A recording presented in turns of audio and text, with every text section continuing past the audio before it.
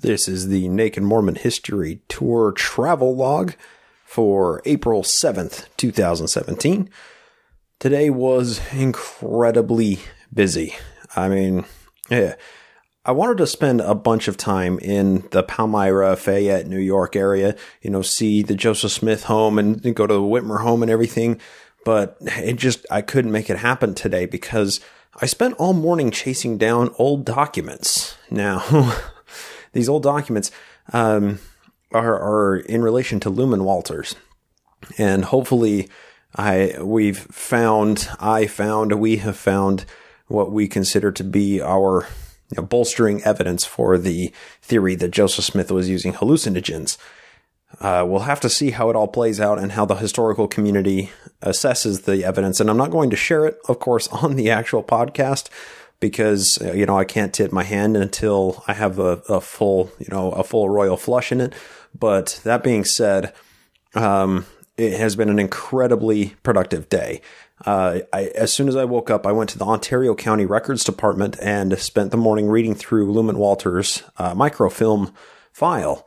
Uh, this information is not available anywhere except at the Ontario County Records Department on their microfilms. And I have to say, um, the guy was, well, fascinating and apparently quite eccentric if we're to take the the news articles that were written about him on face value. So it was a very fruitful day, and I spent most of the rest of the day driving around Gorham and uh, trying to chase down their local historian to find out if he knows anything about the guy. Unfortunately, that those roads kind of dead ended, and I was looking to find any uh, legitimate descendants of Luman Walters. Maybe somebody has a trunk of his old junk or something, but still didn't find any of that. So um, it didn't quite turn out exactly as I was hoping, but those were kind of pie in the sky um, ideas, and I wasn't expecting them to turn out. However, I did find some interesting information in the microfilms that I'm excited to share when it comes to the Sunstone presentation in July. Uh, that we're, you know, Cody and I are going to be doing. It's a revelation through hallucination.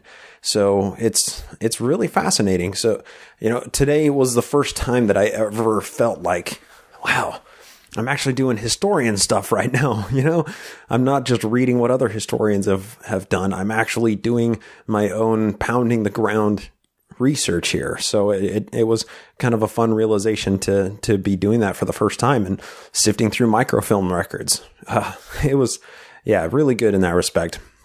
After that, I went to, uh, it was fairly eh, late in the afternoon once I was done tooling around Gorham and, and doing research there and looking through their library. I went down to Palmyra uh, and went to Hill Cumorah. Unfortunately, I, I've wanted to, you know, take a bunch of awesome pictures and make videos for the, the whole, you know, two and a half days that I'm here. But today and yesterday, the weather were absolutely abysmal. I mean, it was constant rain and snow. So I didn't get as much, you know, sightseeing in as I was really hoping to today. But that being said, I still did go to the Hill Cumorah and go to the visitor center and had a lovely conversation with a missionary there. And oftentimes when, uh, okay, so I've told, I've said this on travel logs before, you know, when I go into one of these places, uh, and, and talk to the missionaries. It's uh, I always make it apparent that I'm a member of the church and that you know I'm out here studying the history because and and this is my first ever church history pilgrimage because as soon as they know you're an insider, they they give you a wholly different tour than they would give people who might be outsiders or people who don't know it or people who know the church and left. You know, they, they treat you completely differently.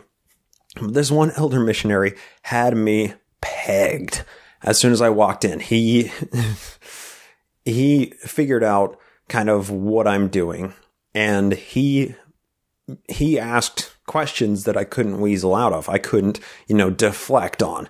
He asked like um, the most pointed question he asked was how has researching the history of the church uh, bolstered essentially I, am paraphrasing bolstered your testimony of Jesus Christ and I I didn't know how to answer. So I just kind of said, you know, you know what?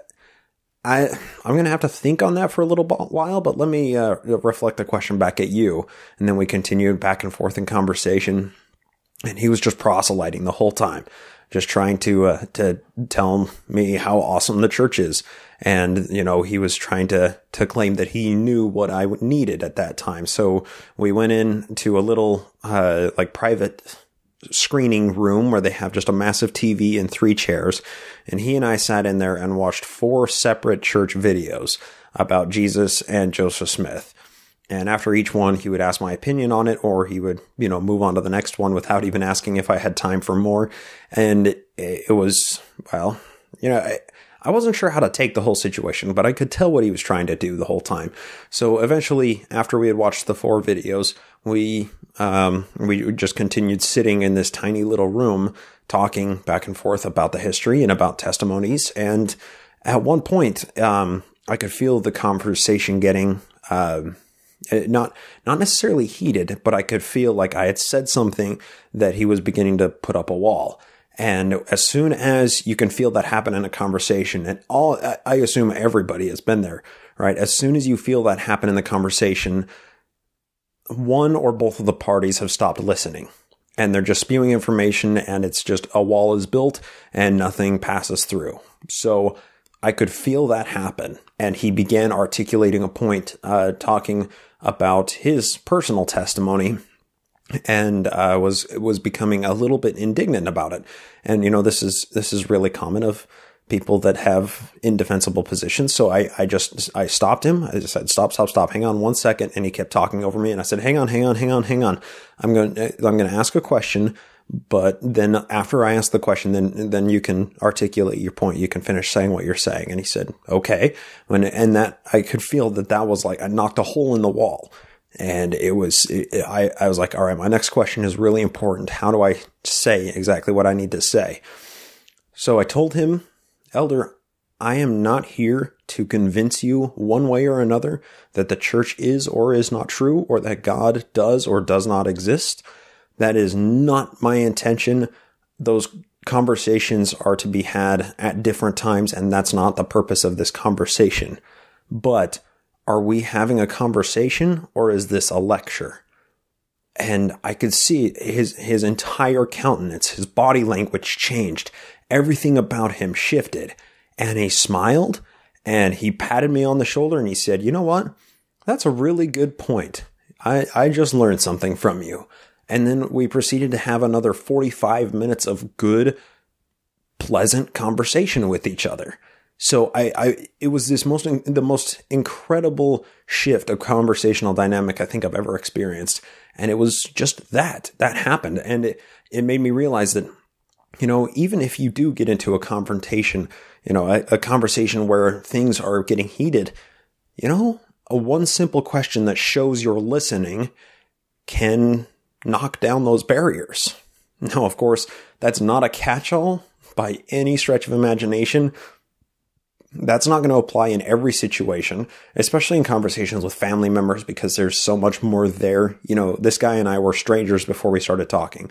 So, uh, but it was important to, to see that distinction from when the conversation changed into him trying to teach me something and then knocking down that wall and turning it back into a conversation where we're both openly trading information and it was great. It was a really interesting and fun conversation, and I really enjoyed it. I enjoyed it just as much as I've enjoyed all of my conversations with missionaries out here.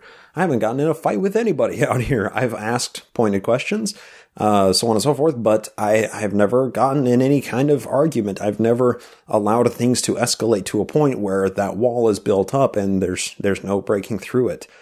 And I, I you know, it's it's honing my abilities for a conversation with with believers because um, you know it, the best way to have these conversations and to get better at them is to have them with people on the fly. You know it's the street epistemology. And you know it was it was just really fun. So you know that was kind of a nice little cherry to top my day off.